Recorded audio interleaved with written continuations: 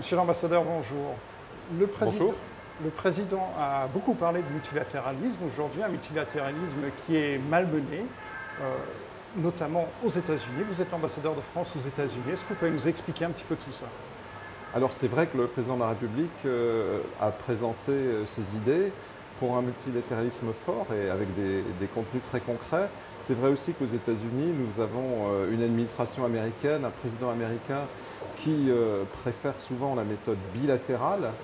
Mais on a vu hier au G7 euh, et ces derniers jours à, Biarritz au sommet du G7, euh, qui est une enceinte multilatérale, qu'on peut, y compris avec les États-Unis et, les autres grandes démocraties industrielles qui composent le G7, aboutir à des décisions concrètes sur la base d'une conversation politique entre les dirigeants. C'est un bon exemple de multilatéralisme fort, rénové, car il y a un point commun, bien sûr, euh, dans nos positions. Euh, on le voit avec l'Organisation mondiale du commerce. Nous, euh, en France, nous reconnaissons aussi que les institutions multilatérales actuelles ne sont pas dans un fonctionnement idéal.